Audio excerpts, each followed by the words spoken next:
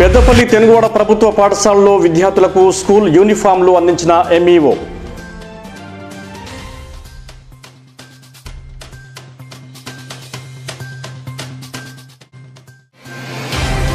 Plastic carry bags వాడితే జరిమానాతో పాటు కేసులు నమోదు చేస్తాం. మున్సిపల్ కమిషనర్ వెల్లడి.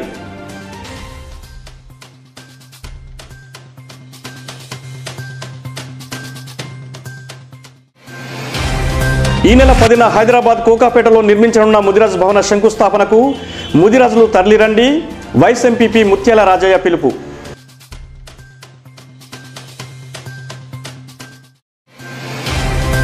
పెద్దపల్లి సిడబ్ల్యూసి గోదాంలో పనిచేసే కార్మికులు ఏఐటియుసిలో చేరిక పతాకాన్ని ఆవిష్కరించిన రాష్ట్ర అధ్యక్షుడు.